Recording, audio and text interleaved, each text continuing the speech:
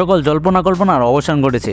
দু সালে জুন মাস থেকে ব্রাজিল জাতীয় দলের কোচের দায়িত্ব পালন করবে ইতালিয়ান কোচ কার্লো অ্যাঞ্চেলতি তার আগের এক বছর অন্তর্বর্তীকালীন কোচের ভূমিকা দেখা যাবে ব্রাজিলিয়ান লিগের মাস্টারমাইন্ড ফার্নান্দো দিনিসকে, যাকে তার নান্দনিক ফুটবল দর্শনের জন্য ডাকা হয় ব্রাজিলিয়ান গাদ্দিওয়ালা বলে।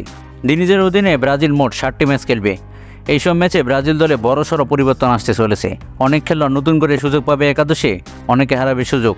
ডাক পাবে নতুন অনেক খেলোয়াড়রা যারা দুদিন পারফর্ম করেও কাঙ্ক্ষিত সুযোগ পায়নি। চলুন দেখে নেওয়া যাক দিনিজের অধীনে কেমন হবে ব্রাজিলের সম্ভাব্য শুরুর একাদশ। দিনিজের প্রিয় ফরমেশন চার দুই তিন এক, যার ফলে নেইমার ও ভিনিসিয়াসের পজিশন নিয়ে আলাদা করে ভাবনার কিছু নেই। দিনিজের টিমে গোলকিপার হিসেবে তিনজনের খেলার সম্ভাবনা অনেক বেশি। এডিসন বেকার ও অ্যাডাসন মরেসও সুযোগ পাবেনই। সাথে উঠতি তারকা হিসেবে ডাক পাবেন ব্রাজিলিয়ান লিগের ক্লাব বোটাফোগোর গোলকিপার লুকাস প্যারি সাড়ে ছয় ফুট উচ্চতার এই গোলকিপার এই বছর মোট একুশ ম্যাচে ক্লিনশিট রেখেছে। গত জুনে তার ডাক না পাওয়া নিয়ে ব্রাজিলে হয়েছে আন্দোলনও। দিনিজের দলে রাইট ব্যাক হিসেবে সুযোগ পাবেন ভ্যান্ডারসন। মনাকোর এই ডিফেন্ডার দানিলোর স্থলাভিষিক্ত হবেন। সেন্টার ব্যাক জুড়ি হিসেবে দেখা যাবে রিয়াল মাদ্রিদ তরুণ ডিফেন্ডার অ্যাডের মিলিতাওকে ও আর্সেনাল ডিফেন্ডার গ্যাব্রিয়েল ম্যাগালহাইসকে লেফট ব্যাক হিসেবে সুযোগ পেতে পারেন অনেকদিন ধরে সুযোগ না পাওয়া কার্লোস আগস্তো যিনি ইতালিয়ান লিগের অন্যতম সেরা ডিফেন্ডার তার সাথে সাথে লুকাস আয়াটানও রাখবেন যোগ্য দাবি।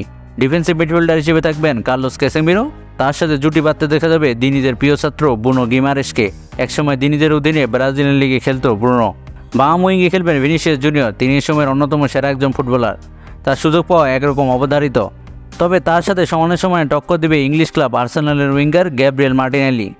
রাইট উইঙ্গে দীর্ঘদিন পর ফিরতে চলেছে স্প্যানিশ ক্লাব বার্সেলোনার উইঙ্গার রাফিনা। তার সাথে পাল্লা দিবে ম্যানচেস্টার ইউনাইটেড অ্যান্টনি সান্তোস। ও রিয়াল মাদ্রিদের তরুণ উইঙ্গার রোদ্রিগো গোয়েস। দুই উইঙ্গের মাঝামাঝি ফ্রি রোলে থাকবেন নেইমার জুনিয়র। তিনি থাকবেন এই আক্রমণের নেতা হিসেবে। তিনি তার প্রিয় খেলোয়াড়কে দিয়ে ভেদ করবেন প্রতিপক্ষের দেওয়াল। নেইমারের ঠিক উপরে সুযোগ পাবেন তরুণ স্ট্রাইকার ভিটর রক। সম্প্রতি তিনি বার্সেলোনায় যোগ দিয়েছেন। তার সাথে সাথে স্ট্রাইকার হিসেবে দেখা যেতে পারে আরেক তরুণ অ্যান্ড্রিক ফেলিপেকে।